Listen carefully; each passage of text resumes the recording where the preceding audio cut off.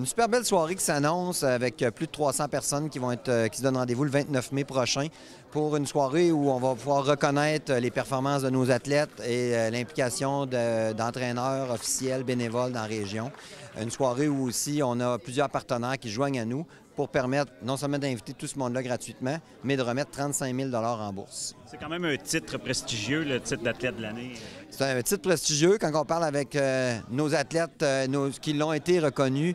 Euh, c'est intersport. Des fois, de dominer dans son sport, c'est une chose, mais d'après ça, de comparer à l'autre personne qui domine dans son sport puis d'être reconnu athlète de l'athlète, même, pour la découverte nationale, on se compare à d'autres sports. C'est vraiment quelque chose qu'ils nous disent c'est important pour eux autres.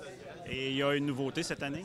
Oui, cette année, on a décidé d'ajouter, de souligner la retraite active, dans le fond, de nos athlètes qui ont été aux Olympiques puis qui ont décidé de passer à autre chose. Donc, on va souligner ces, gens-là qui n'ont pas toujours été athlètes de l'année, qui n'ont pas toujours été non plus avec des grands résultats connus, mais d'être allés aux Olympiques, c'est quelque chose. Même si on a fini des fois 30e, c'est 30e au monde.